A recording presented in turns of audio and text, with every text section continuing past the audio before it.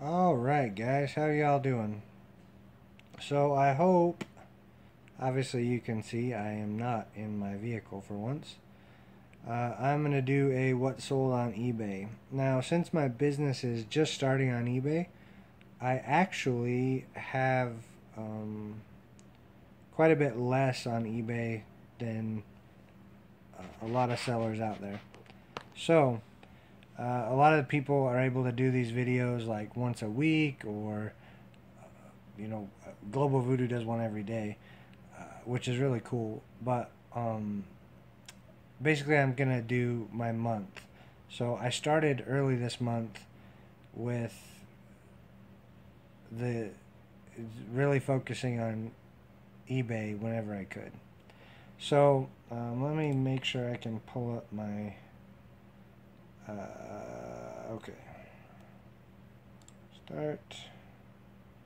And we should be recording my screen, hopefully. Hopefully. We're not. One second. Alright, so I think I got my screen share figured out. So I'm going to go over, like I said, the stuff that I've sold since I really started focusing. So it's been about, this has been all of April. Um, so bear in mind, um, I have, should have pulled this up first. Um, as I'll get into a little later, it's all a numbers game, which is why I'm doing this uh, video part. Um, right now I have active listings 134. So I have 134 listings. Sold about 20 items in the last month, which is actually, when I think about it, it's not really that bad. Um, obviously, I want to get more so I can get better at it, but I'm only able to list about 10 most days, uh, sometimes 15 or 20 if I take a day off. So I'll probably switch up back and forth between the screen, but this is something that sold earlier. Um, I was really focusing on FBA I got eight of these. These are prime spin, 360 degree electric rotating turntable. Um, this sold for $125, uh, and I did free shipping. Um, so uh, I also sent these in. I sent four in F- FBA, and then I kept uh, five, and so I just sold the first one, and have gone from there. So that one I uh, only paid $19.99 for them, so I made $83.38 on that item itself. So at the end, I'll do what show you my spreadsheet that I did. But um, so yeah, that was a good one, $80 there. Uh, this one is The Princess Bride, which uh, I hope everyone's seen that. It's a great movie. If not, you should. I wanted to build up some inventory, so I took a bunch of VHS tapes on consignment um, and have just been listing them. So the deal with these was I'm going to list them all. I looked for comparable prices, and after they've hit their 30 days, they're going on 99 cent auction, um, and we're just going to blow them out. So I did sell one of those, 3.99. Uh, uh, the shipping cost, I make 25 cents on the shipping, and then we split the cost after fees. So you can kind of see what that's going to be. That one's not on the spreadsheet because it's a consignment. So now, uh, the other one I sold was the Columbia button-up Omni sleeve shirt. That's red. Uh, this one, it showing my sale is $22. That's not true. I listed it at 22 I sold it for 18 So then after all the fees, uh, I ended up making $11.93. So that one I paid five, five, five and a quarter for, five dollars for. Um, so yeah, not a bad one there. I actually listed about six polos that are pretty similar to that. That's the only one that sold right away. Um, this is a iHome 6000 milliamp rechargeable pack. I bought a bulk of these. They didn't work out as well as I thought. I'm just trying to kind of get rid of them now. So this one, to give you an idea, my cost on it's $9.99. It didn't sell for 19. It sold for $17.99. So then after all the fees and everything, I only made $2 on it, uh, $2.25. So I'm just trying to push through those. Obviously, I'm not losing money, but they're not really worth a whole lot of time on those. This one was a surprise. I bought a box lot of stuff at an auction. Um, and the big thing in this box was a bunch of Moleskine notebooks. And the Moleskine notebooks, none of them have actually sold yet. They're really nice. They're the uh, um, graph paper style. They're the medium size, which I really like.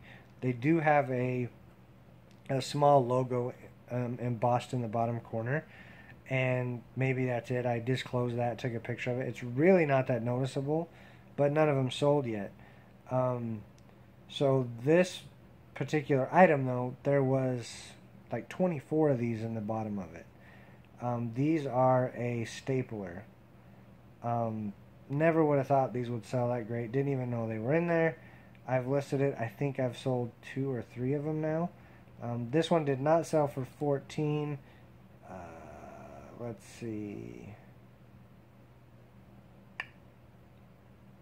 Yeah, it did sell for 14.99. I don't know why that's on there. That's that's out of order. So I actually sold two of those batteries, one for 17.99, one for 19.99. So I made two dollars and then 3.86 on one. Um, I think I have some smaller batteries we'll get to in a minute. Um, but yeah, this stapler, uh, that one did come actually come up right. It did sell for $14.99, and so here on my spreadsheet, that would be uh, this one here.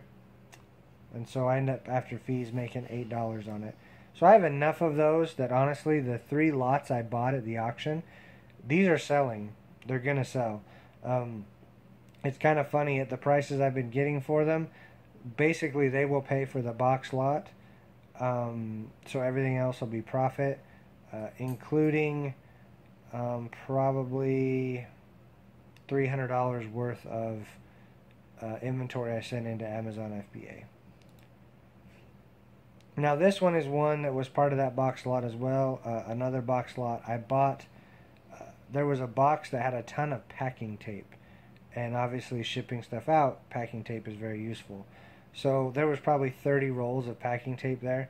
So I basically went a dollar fifty a roll. I paid like forty dollars for the lot. Underneath there was a ton of specialty tapes. Didn't even look at that. Tons and tons of specialty tapes. These are a real generic electrical tape. They're not worth a whole lot. Um, and when I look at my spreadsheet, after all the fees and everything for this, I actually lost $2 on it technically. Like I said, I probably really didn't lose $2. I probably about broke even with shipping.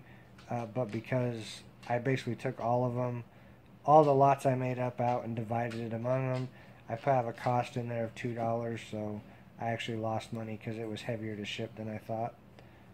But it is what it is. Now this one is a men's necktie. Kind of cool, stained glass. Um, I don't think that one sold for 19. I think that one sold, yeah, that one sold for 14.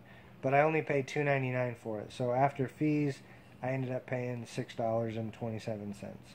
So not bad for super easy to list. Um, you know, I did take five pictures, did a little bit of research on it. Again, you don't know what's going to sell. This one actually sold in just a couple days after I listed it.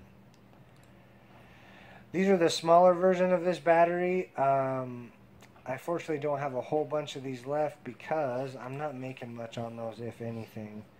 Um, the small ones, yeah, that one I actually lost a dollar on. There's another one that'll come up when I adjusted the price and took buy best offer off. I only make 74 cents on them. So they're going to go, but they're not doing anything uh, except building sales and building feedback. Uh, again, I never know what's going to sell. So this is four rolls of painter's tape, blue painter's tape. Uh, don't think it sold for 19. I think it sold for 15. Uh, $16. So that sold for $16. Again, uh, we've got the purchase price of two dollars um, after all the fees because I did do free shipping on that and it was going as like as far as it could get across the country from me. Uh, I ended up only making about three bucks on it. But essentially, this is free inventory. I do have a cost on my sheet because of it, um, just because of how I broke it up. But I basically bought it for that packing tape. So either I got the packing tape free, or really I made about five bucks on this.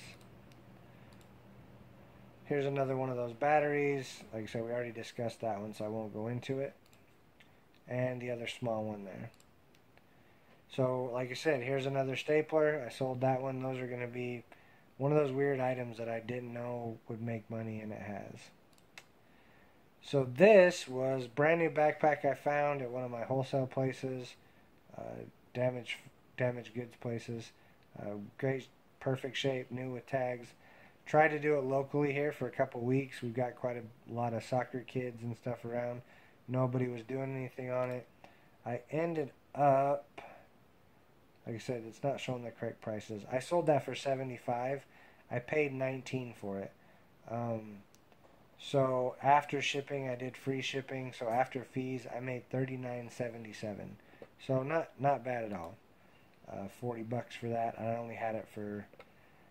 I, really wasn't pushing it. I've had it for a couple weeks, but from when I listed it to when it sold uh, was only about a week. So here's another video. Fatal Attraction. Again, this was a consignment, so I'll probably end up making about a dollar on it. Um, but they have a hundred and some videos. Some of them are collectors that they have a lot of watchers, a lot of views, and they're in the 20 30 dollar range so we'll see what happens so here's the third stapler. Like I said again those sold they've sold pretty well.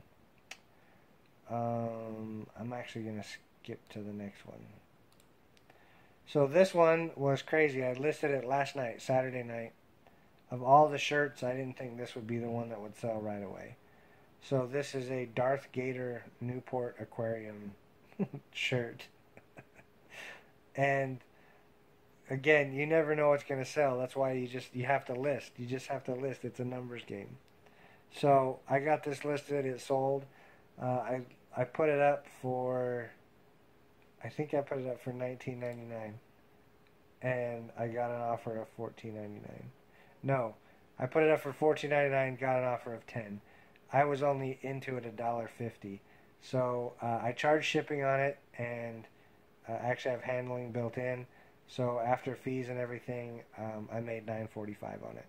And literally, I've had it for a week, sitting around waiting to list it, and it just wasn't that cool. I just it was a dollar and had Star Wars and was brand new, so figured I'd give it a shot, and made ten dollars on it. Now, again, not knowing what's going to sell, this is I don't know if it's my most money made. No, it's not. Obviously, that prime spin and the backpack were great, but this one, cost versus investment, this was major. So this is a 1993 Phase 10 dice game. Now I didn't do a blind buy on this. Uh, games and puzzles, pretty much if they're unopened and it's a game or a puzzle and it's a dollar, I'm just going to buy it. Uh, this one, it was kind of cheesy looking. It actually had some damage. Um, let me see if I can show that it was all shrink wrap, but there was a hole in the box right there. So, and actually looks like the box may come into play. I don't know. But anyway, uh, I looked and there was some that had sold for over $20. So I threw it up, $20 plus shipping. Um, and I didn't get a best offer on it. I think they just bought it. Yeah, they just bought it. Um, they calculated out to $7 shipping. Shipping was actually only about 4 bucks. So by the time it was all said and done, I bought it for 99 cents and I made $19.46.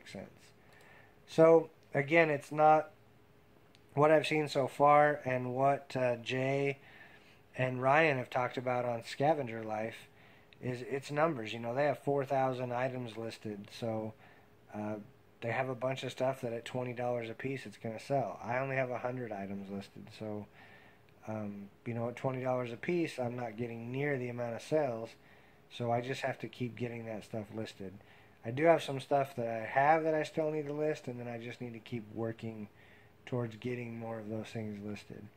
So, as Jay and Ryan show, and as um, you know, Mike from Global Voodoo and like Craigslist Hunter show, you know, at this rate, I'm I'm not going to be a millionaire, but I can see how if I keep doing this in my spare time, um, I can get to where I work less, and I do work for myself, so I can get to where I work less, um, and this will start making money. Oh, on my screenshot. So I have this sorted weird because I put all the solds at the top. But um, basically, every all my inventory cost, which some of this is true, some of it isn't, but basically it's I've spent 720 on inventory. If everything's sold for its listing price, then I would be at 3500. So obviously, um, not all of that is going to happen because you take best or I take best. Pardon me, it's late. I get best offers, so but you know, right there you kind of see what the potential is. So right now, with what I've spent versus what I've sold, I'm still technically negative $430. Again, like I said, between all of this, I've probably sent $400 worth of Amazon FBA stuff in, and I haven't factored that cost in.